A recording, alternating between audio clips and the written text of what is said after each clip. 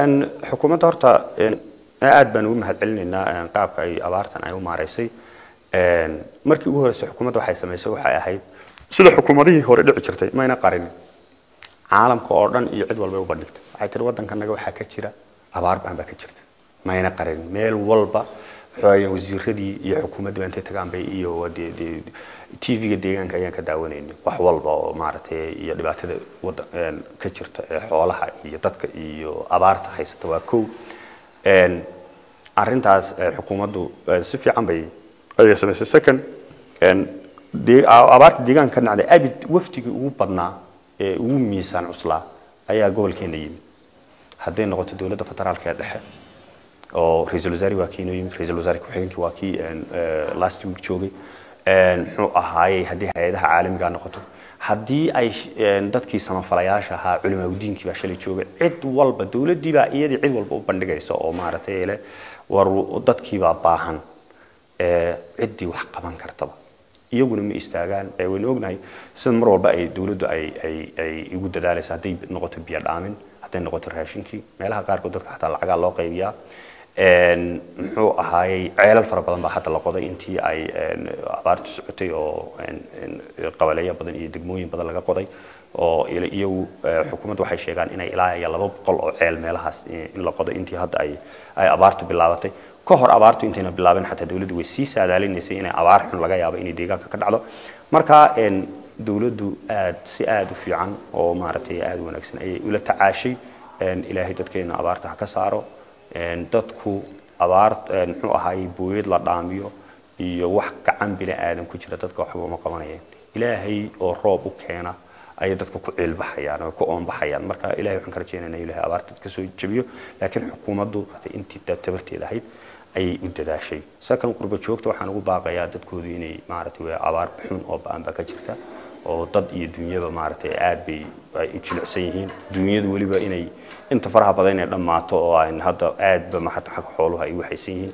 Marka waxaan leeyahay inay dadkooda u kacaan oo maaragtay dadaallo fara badan way wadaan. Inkasta oo si ay maaragtay degmo degmo ama reer reer ay maaragtay inta faraha badan ay ay dadaaladay wadaan ay u waxaysan yihiin. Haddana waxaan leeyahay inay dadkooda ay intii ugu dambeysay hadda lagu jira abaaraha bini ugu dambeeyey inay dadkooda u gurmadaan wixii ay u qabanayaan kale u gurmadayaan.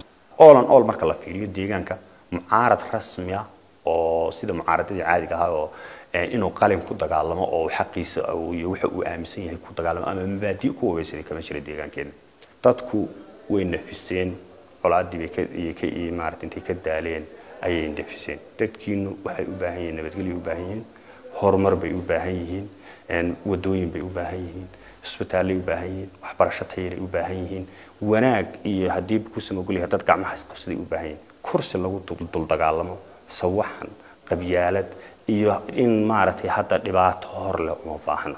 Marka waxaan leeyahay inay wadaniyiin intay noqdaan in ay maaragtay waxan aan macnaha lahayn.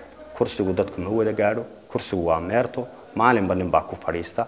In ay u soo jeedsadaan ummadooda sidii ay wax u qaban lahaayeen oo ay waa la baaba'ayayda iyo haddii muxuu ahaaye waxbaa la xumeeyey iyo waxbaa la cunay iyo waxbaa la intay ka baxaan sidii ay wax ugu qaban lahaayeen dadkooda inay u soo jeedsadaan muxuu ahaayey dadkaas iska maaragtay haddii kuusan ogol yahay boqolka ujeedo kale leh ee uu mideeyey keliyeeta uun in ma garanaysaaye keliyeeta kursidoon iyo xildayday intaas ay midaysay weeyaa dadka sawaxanka wadaay. Qofka mucaaradka markaad noqonayso mucaaradku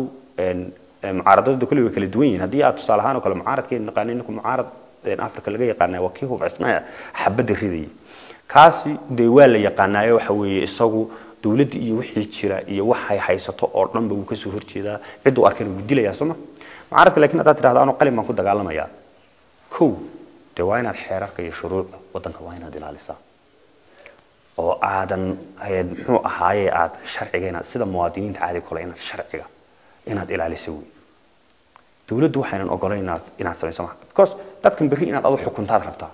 Adiga hadda haddaad sharci darro horseedo ood fawdo horseedo dee dadkii role model ma noqonaysid moogta marka inaad inaad shuruucda waddanka u yaalla marka ugu horeysa aad aad aad aad aad ma garanaysaa aad ixtiraamto oo aad raacdo.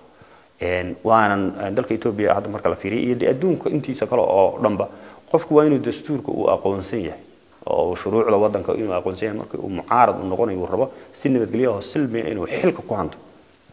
Marka kow mucaaradnimadu maaha inaad fawdo kiciso inaad shiro sharci darro a qabato inaad dowladdii dhan intaad ka dultallaabsato tirahdo waxaan doonaan samaynaya. Taas mucaaradnimo lama yidhaha waa fawdooyin.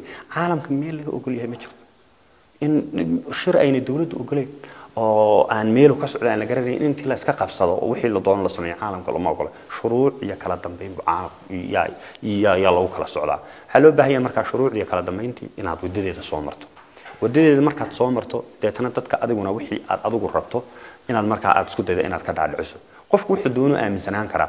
Adu waxaad doonto in in lagu yidhaha waxaasaad aaminsan tahay lagu ciqaabo ama qofka loo dhibaateeyaay waa khalad weeye laakiin muxuu ahaayey tallaabooyinka iyo ficilada aad qaadaysaay waa inay mar walba waafaqsan yihiin nidaamka iyo sharciga waddanka u yaalla